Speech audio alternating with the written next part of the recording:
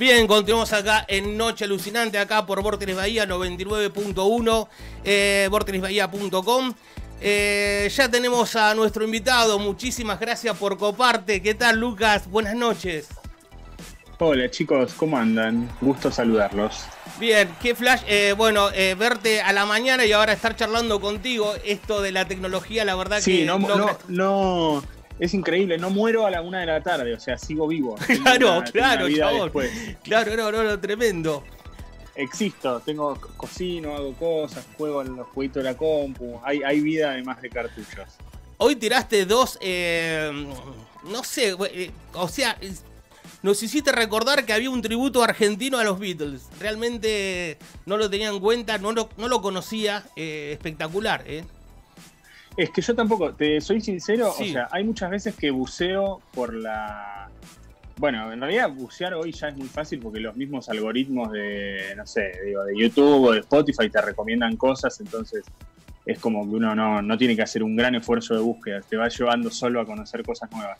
Pero también me ayudan mucho los oyentes que es como que hay una, no sé, se genera una hermandad hermosa donde uno eh, empieza a contar cosas y a dar data, entonces se ven como en la, no sé, en la obligación de decirte, che, ahora escucha esto, qué bueno lo que me recomendaste, te recomiendo esto, y ese, esa data me vino de un oyente, me dijo, che, a vos que te gustan los Beatles y el rock nacional, escuchate este disco, y yo dije, ¿esto es real? ¿Este disco existió alguna vez? No, no, flashé eh, cuando dijiste, eh, ahora aparece una de Cerati, dije, no, increíble. Era como todo el Dream Team del rock nacional en ese, en ese disco. Espectacular. Che, Lucas, una, una, consulta, una pregunta. ¿Cómo te llevas con eh, los géneros musicales? Y más que nada con el famoso y querido y tan renombrado indie ya cansa la palabra eh, indie, como en un momento en los 90 decir era alternativo, ¿viste? ¿Qué sé yo? Claro. Mira, eh, a mí nos pasa, ¿viste? Cuando uno milita las preguntas de Instagram, eh, te cae cualquier cosa. ¿Viste? Y, y, hay una pregunta que me cae mucho que es banda preferida o género preferido o viste como esa cosa de, elegir una sola cosa o de dar una opinión muy clara acerca de algo. Yo en general, por ejemplo, no, no tengo una, eh, no sé, no tengo una predilección por géneros. No me pasa que diga, che, este género me gusta, este género no me gusta. Como que no hago un corte por género. Si me gusta la cumbia, no me gusta. Si me gusta el rock o no me gusta. Como que trato de, entrar un poco a ver eh, qué hacen dentro de ese género. La verdad es que me gustan todos los géneros. Eh, y con el indie me pasa lo mismo. Primero que no, no sé bien, digamos, cuáles son los límites de los géneros. Así como me pasa con todos los demás géneros, me pasa también con el indie. No sé qué entra dentro del indie. En general, últimamente es como la, la, banda que se percibe indie o que los demás perciben como indie y se le pone el, título y ya está, porque es un género muy, muy amplio, ¿viste? Eh, y dentro de eso, nada, lo mismo de siempre, cosas que me gustan, cosas que no, pero me cuesta como es esa cuestión de, cortar por los géneros, ¿viste? Más hoy. Bien, la pregunta viene porque la otra vez escuché a Bebe Sanso, que bueno, tiene una sección en una radio, en un programa, y decía, eh, bueno, pará, no todo es indie. O sea, porque viste que por ahí algo medio freak o medio, eh, vamos a decir la palabra berreta, que a propósito, pero tiene que tener un encanto para que eso sea algo lindo, ¿se entiende? ¿No? Como, como a veces es medio difícil a. Creo que, creo que vos como productor o como conductor también te arriesgás, pero ya debes tener cancha de tirar esta banda es buena, ¿no? De, sugerirla o qué sé yo, no sé. Sí, sí, en realidad me, es lo, sí, no, no, siempre lo que paso tiene que ver con un gusto personal mío, ¿viste? Es más que nada como tratar de detectar la manufactura de eso, ver si, está bueno como está hecho, si suena bien, o sea, detectar algo que genere algún tipo de sorpresa y que yo diga, che, esto está bueno, o sea, como que es de buena calidad, tiene algo piola para, para sacarle jugo, más allá de si me gusta a mí o no.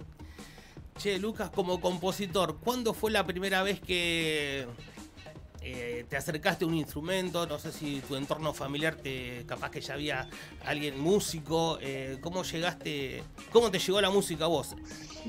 Mira, eh, el tocar, ¿verdad? el tocar, el tocar, sí, sí. Eh, en mi casa siempre se escuchó muchísima música, pero quedaba medio ahí en la escucha, ¿viste? O sea, se escuchaba mucha música infantil, tipo, yo escuchaba mucho María Elena Walsh, eh, no sé, Vivitos y Coleando, toda esa En mi casa se escuchaba mucha música de toda índole, pero no había una movida así del instrumento y de todo eso. En la primaria, en primer grado, eh, mi mejor amigo se llamaba Juan Chin y un día fui a la casa de él y había una guitarra y la mamá tocaba la guitarra y cantaban canciones que yo únicamente escuchaba y decía, ¡uh, loco, qué flash esto de tocarlas! O sea, poder eh, hacerlas sonar voz, ¿viste? Entonces le empecé a preguntar cómo se tocaba la guitarra, me enseñó dos acordes, ponerle el la y el re, eh, y yo volví a mi casa y le dije a mi hija, che, eh, yo quiero tocar la guitarra, quiero aprender esto, quiero tocar la guitarra. y ahí me plantearon que había una guitarra en mi casa, que mi viejo tocaba la guitarra, que mi mamá también, pero como que estaba. Eh, dije, ¿cómo que hay una guitarra? Sí, tengo TUC, una antigua casa Núñez, y apareció. Algo que estaba guardado. Ah, no te puedo creer, mirá. Y ahí fue como, claro, y fue como, che, loco, pará, ¿y qué onda? Y, se empezó a armar la movida. Eh, y ahí pedí tomar clases y empecé a tomar clases de guitarra. Y bandita. después, lo, loco es que después, después lo loco es que me enteré, no solo que mi viejo y mi vieja tocaban la guitarra, tocaban la guitarra, o sea, les gustaba tocar así acordes y cantar.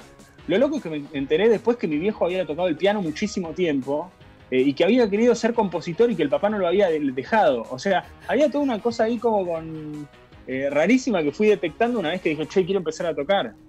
Mirá, eh, bueno, poca comunicación en la familia, no, son cosas que no, porque se era escuchaba, muy chico, se escuchaba mucha música, era raro, era como del, de un pasado ahí guardado. Y ahí bandita, armaste la clásica garallera, covers. Sí, sí, teníamos en el secundario tenía mi primer banda se llamaba Campo Suspendido, que se la pusimos porque nosotros teníamos que ir a un campo de Claro, teníamos que ir a un campo de deportes a hacer gimnasia nosotros a la tarde. Y cuando llovía, eh, ponían un cartel en el colegio que decía campo suspendido, como que se suspendía el campo de deportes y esos días nosotros íbamos a ensayar. Entonces le quedó campo suspendido. Esa fue como mi banda, Muy mi banda de los por 12 cierto. años. Ah, 12 años, ya, ya está, claro. Ya. Y que, bueno, compañero ahí de, de, la escuela, eran los Sí, sí, compañeros de la escuela que después eh, casualmente dos de ellos terminaron estudiando composición igual que yo. O sea, fuimos los tres a la misma facultad. Ah, bueno, había pasión por ahí. ¿Y después le, seguiste metiendo, armando bandas así, proyectos? O... Sí, sí, hice, después de eso, después de Campo Suspendido, tuve una banda en el secundario así muy rock progresivo, flashero, eh, Spinetta, la máquina de hacer pájaros, esa movida que se llamaba Blast Sampler que es un nombre inventado. Y después tuve una banda que todavía tengo, solo que uno de los pibes se fue a vivir a Dinamarca, eh, que se llama Galindes, que es como más eh, power trio. Eh, y bueno, nada, con ellos dejamos de tocar porque uno de los pibes se fue a vivir a Dinamarca y porque ya, no sé, uno está, uno labura trayendo molino, ¿viste? la, la adultez empieza a complicar las juntadas. Che, Lucas, ¿y con el pan rock cómo te llevas? Con el punk rock. Eh, te veo muy lejos. Te veo muy lejos de él, ¿puede ser? Pero qué, pero qué entra, por ejemplo. Y las clásicas de Clash, Ramones, Pistols. Sí, o sea, las escucho y las escucho y las pongo al aire, pero más como clásicos. No, no fue mi palo. O sea, yo para que te des una idea, en la secundaria el, eh, no sé, lo que, lo que me empezó a meter un poco en esa movida, yo entré por la vertiente careta, o sea, entré por la vertiente Blink 182, Green Day, The Offspring, y de ahí fui para atrás. La curva. claro, claro. O sea, no soy de los, de los originales, de lo que te dicen, no, banco la, banco la parada. claro, claro, claro. Re, caretón lo mío. Em, bien. Em, bueno, últimos cartuchos. La amistad de, de ustedes cuatro. Sí. ¿De dónde viene, Lucas? ¿Por qué te juntás con esa gente? ¿Por qué me junto? Mirá, eh, la realidad es que yo con Miguel me había juntado dos o tres años antes, eh, porque yo trabajaba en la coordinación de Rock and Pop. Eh, y yo medio que me encargaban y a la vez yo quería empezar a generar como algunos proyectos nuevos de gente joven eh, en horarios como de fin de semana o a la noche, o sea, empezar a, presentar proyectos nuevos, ¿viste? Con gente que, que, no estuviera tan en el radar. Rock and Pop estaba con una programación muy, muy potente de figuras y había espacios como para hacer laboratorio y probar. Y uno de esos espacios yo lo quería hacer con Miguel y con Homero Petinato, que yo los venía escuchando a ellos en los 40 principales, cuando a la mañana temprano hacían resacados, un programa de dos desquiciados a las 6 de la mañana, dos pibes que no les importaba nada, eh, que, yo no sabía si que iban sin dormir o que, o que se despertaban y fumaban un caño a las 5 y media de la mañana, no entendía cómo pasaba eso al aire. Además en una radio como los 40 principales, que era toda de fórmula, ¿viste? Los pibes deliraban y después le pegaban Daddy Yankee, una cosa y yo empecé a escuchar eso a las 6 de la mañana porque siempre hice mucho zapping así de radio y dije, ¿quiénes son estos pibes? ¿Qué es lo que...? Y bueno, y los quise llevar para Rock and Pop, al punto que grabamos un piloto, todo en este mismo departamento de donde estoy ahora. Y ahí, ahí conocí personalmente a Miguel eh, y a Homero con la idea de presentar ese piloto. Después eso no prosperó. Eh, y, y, después lo que me pasó trabajando en Rock and Pop, después en Metro y después en Blue, era que cada vez que a mí me decían, che, bueno, busquemos cosas nuevas, gente para poner al aire, no sé qué, yo siempre volvía como a los mismos, ¿viste? Miguel, Homero. Entonces tuvimos así como unos diálogos con Miguel a lo largo de los años como para ver si salía algún proyecto y no salía. Eh, y finalmente cuando pasé a, a, Blue, que empezó a tener como cierta programación y a salir un poco del esquema de la música con gente sexy y otros programas, ahí me dijeron, che, bueno, vos que tanto rompiste los huevos conmigo, eh, a ver, armate algo como para Blue. Claro. claro. Y ahí lo llamé y dije, che, boludo, escúchame, viste, bueno, me parece que ahora hay chances de verdad de que algo salga. ¿Grabamos un piloto? Bueno, dale, grabemos. Y de ahí le dije, che, bueno, ¿con quién te gustaría laburar? Y me dijo, con Martín Garabal. Yo a Martín no lo conocía. Eh, y lo conocí ahí en la grabación del piloto y, grabamos y, con Miguel quedó como una, ya veníamos como buena onda de antes, pero a, partir de ahí los conocí a los chicos. Después, más tarde, eh, entró Vicky cuando entrevistamos gente como para armar el equipo. Eh, y conmigo quedó siempre ahí como un vínculo medio de amistad, viste, paralelo, independientemente de los demos, las grabaciones, los laburos, como que habíamos pegado onda. Eh, y después nada, me parece que el hecho de ir compartiendo muchas cosas al aire y fuera del aire generó como una amistad grupal y un bloque de, muy fuerte, ¿viste? De, mucha unión, sobre todo por el hecho de ir pasando por muchísimas situaciones eh, y el grupo sigue como, como unido, ¿viste? No, pero por lo que contás y veo, eh, años de radio tenés. Estás bastante eh, afiladísimo, ¿no? Digo que hace mucho que estás en el medio. Y 2010 empecé a laburar. Y visitamos 2020. Hace 10 años, boludo. Una década justita. ¿Y? ¿Sufriste en un momento eh, vértigo? Sufrí un montón. Sufrí de todo. Tuve de todo. Tuve de todo. Tuve todo. Me acuerdo, por ejemplo, cuando recién entraba a Rock and Pop, yo tenía 22 años. Y el pasillo ese, o, sea, el pasillo era como. Sentías que pasabas por ahí y te disparabas, ¿viste? Salía gente así, como diciendo, este no es tu lugar, sos el nuevo, sos no sé qué, ¿viste? Bueno, sos como, bueno, paren, boludo, cuánta, cuánta data, todo.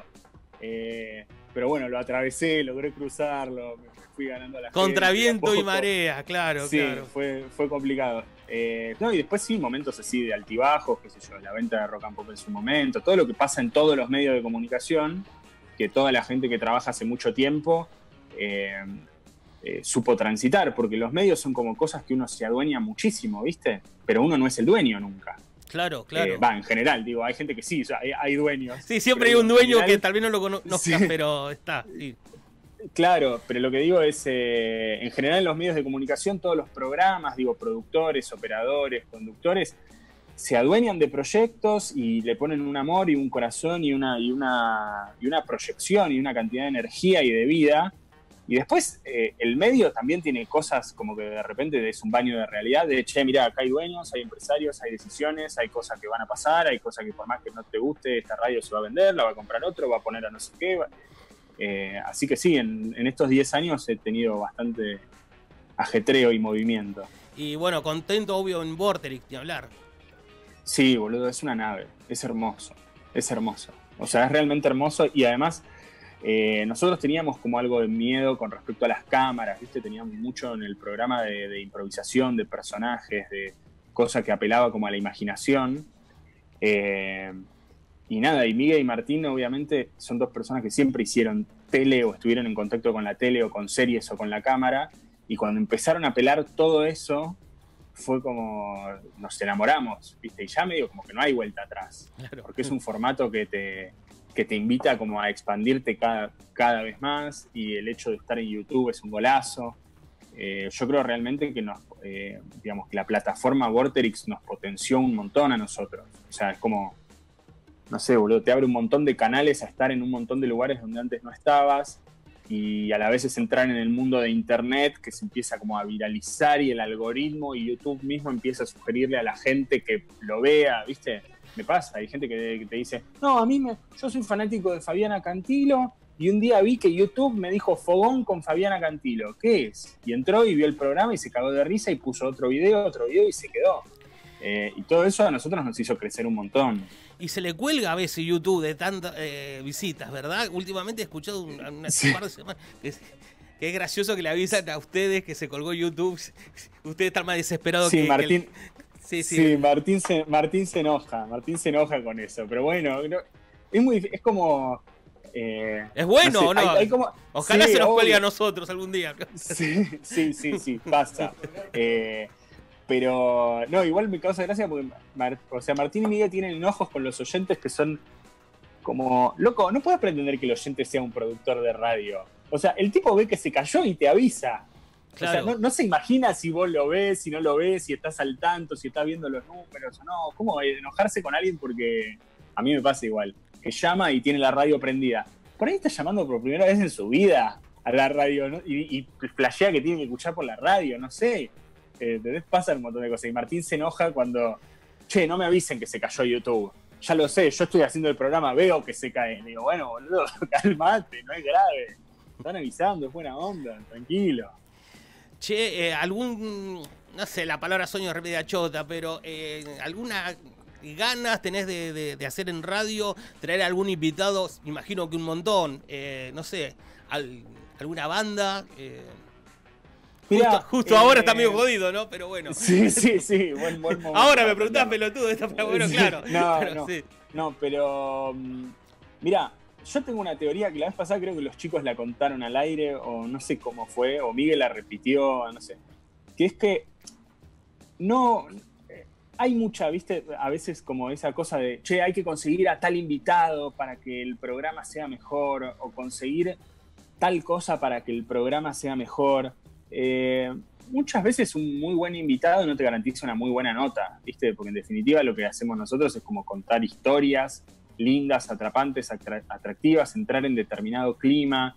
Eh, y no, tengo ese fetiche como me gustaría traer a tal, o la banda tal, o me parece que hay un programa que tiene, que está muy caracterizado por lo que son Miguel y Martín, eh, y ellos mismos ya funcionan como filtro. O sea, yo creo, por ejemplo, para hacerte totalmente eh, extremista, si yo llevara a los Rolling Stones al programa, no estaría buena la nota. ¿Entendés? O sea, sería mucho mejor la nota hecha por otra gente. Ellos no la podrían capitalizar bien. Entiendo. Por ahí se cagan de risa, hacen un buen chiste, no sé qué. Pero me parece que el espíritu del programa de cartuchos es como que requiere de contenidos que sean para ese universo. Eh, a mí lo que me gusta mucho son como hacer acciones especiales, tipo transmisiones desde afuera, eh, viajar, que, por suerte lo he podido hacer. La de Lucas. Me, gusta. Es claro, la, la de Lucas es real, ¿viste? Eh, pero no soy muy de, flashear así con, cosas. Sí me gustaría por ahí en algún momento, así personalmente, tipo poder manejar eh, no solo un, programa, sino también una, radio ¿viste? entera, como poder cranear una, eh, una emisora. Con eso sí flasheo. Bueno, el próximo paso. Ojalá. Hablando de, bueno, de invitados, claro, está muy bien lo que decís porque, por ejemplo, Vicentico siempre me pareció un tipo viéndolo en los medios, obviamente, no lo conozco y tampoco lo quiero conocer, pero se me pareció un tipo muy... Eh, eh, me hago cargo, fanfarrón, medio agreta, así medio, viste, medio, viste... Y, y él como que les copa participar. Yo creo que ya van dos veces que lo entrevistan ellos, ¿no? Sí, sí, dos veces, dos veces. Y Pero es gracioso porque. Es gracioso porque. le daba eh, miedo, le, le daba Le- timidez le- aparecer en cámara la otra vez. Decía, no, boludo, claro, no, y estoy me da medio vergüenza las cosas que, que es lógico que le pregunten también. Claro, Digo, sacás un tema nuevo, lo más probable es que te pregunten por el tema nuevo. sí. No solo porque les interesa, sino también como para darte una mano, ¿viste? De promocionar, lo que la gente se entere de que va. Y al tipo medio como que le da vergüenza, ¿viste? Y les decía como, no, da, no seas forro, no me preguntes eso.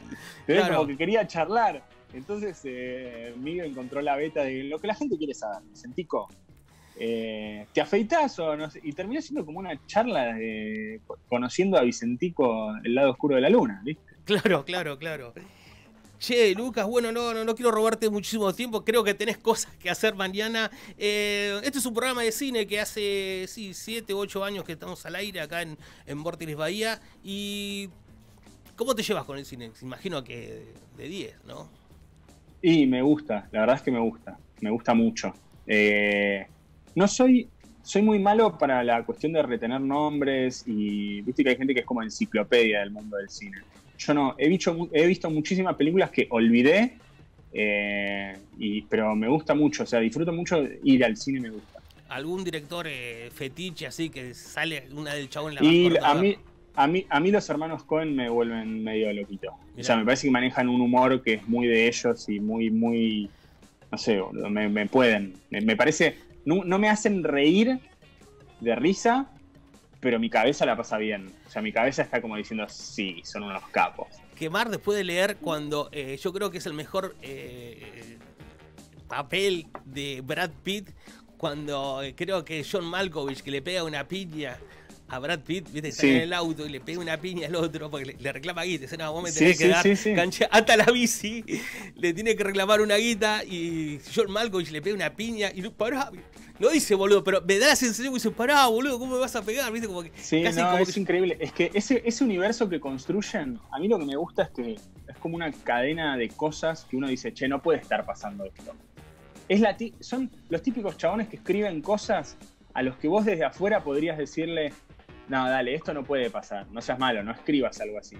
Y la vida real se ha encargado de darles la razón todo el tiempo. O sea, son cosas re posibles en este mundo. Este mundo está lleno de gente muy imbécil Sí, como esos personajes de la peli, donde una pequeña decisión que toman mal lleva a otra y se agranda y todo es una bola de nieve, hasta el punto que la misma gente que debería ser muy inteligente, que trabaja en la CIA y qué sé yo, se marea y te das cuenta que también que son seres humanos que no... Tampoco es que la tienen requeta recontra clara. A mí lo que construyen ellos me parece inteligentísimo. Bueno, un gran ejemplo sería Fargo, que después hicieron la serie. Y La siguen, serie, claro. Y siguen con el personaje central, que es un goma, el chabón, ¿no? Como que se la quiere recontramandar y, y les, les garpa el personaje a los tipos. Como que. le- Es que, y, y es esa mezcla de que por un lado decís qué increíble lo que estoy viendo, por otro lado te querés meter a, a- a ordenar ese caos, ¿viste? Decir, che, pará, no, no sean tan imbéciles, escúchame. ¿Viste? Te, te genera como esa cosa medio telenovelesca de, no, dale, no me hagas esto, ¿viste? Te querés meter, guiar a los personajes, no sé, yo los requiero, boludo. Me parece muy, muy, muy brillante todo lo que escribí. Che, y con los superhéroes, ¿cómo te llevas? Más o menos, Batman es la mía. Batman es tuya. No, llego, llego hasta ahí. llego hasta ahí. Ahí nuestro Ah, experto en cómic, eh, Fede ah, Turner saltó y bueno. eh, Ah, Ahí te tiro. Eh, Ben Affleck, ¿sí o no como Batman? ¿Te gustó? ¿Lo viste? Sí, sí. No me, no, no me volvió loco. Sí. Pattinson, decime que Pattinson no. Así. No sé si estabas Bueno, te enterado. digo, no. no. Listo, gracias. Ya está, aunque me estés mintiendo, No, gracias. porque entró, entró casi con un arma. Dije, bueno, listo. No, no, sí, sí, es bravo. Sí, sí. Eh, le tengo mucho respeto acá a Turner. Eh, che, Lucas, bueno, te molesto con un par de soundtracks que te vengan a la cabeza, si los tenés, si te acordás, si, si hay alguno que siempre te gustó, capaz que, no sé, Rocky ya te te Mirá. Sí, No, no, no, mira. eh, hay una banda original.